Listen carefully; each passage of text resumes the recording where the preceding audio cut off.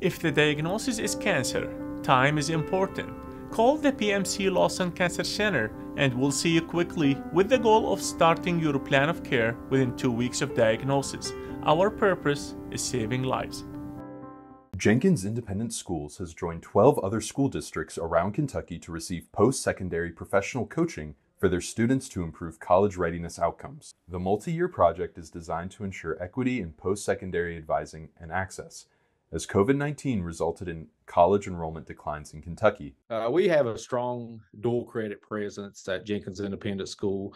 Um, we partner with KCTCS and UPike to allow our students to begin taking dual credit courses as a freshman.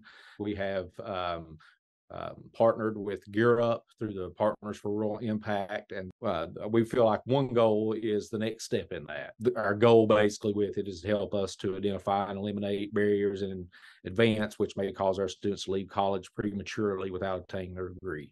The school districts will receive this new support from One Goal at no cost for two years through federal, elementary, and secondary school emergency relief funds from KDE like I said before, I think it's the logical next step for what we're already doing.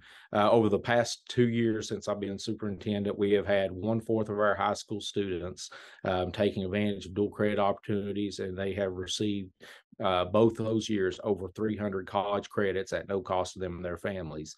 And um, uh, I think that that is particularly from um, um such a we live in such a, a, a poor socioeconomic area, um, and we have had we have students that are going to college that are first generation college students that we want them to know that there uh, are opportunities for them to um, live a different life than they've ever seen. There's many students from this area that do not have the support and the um, the means to go on to uh, for and be successful in a post-secondary education. And we believe that um, while we have them here, that we could put them on that pathway through what what we're doing on site right now with our partnerships with UPike and with KCTCS.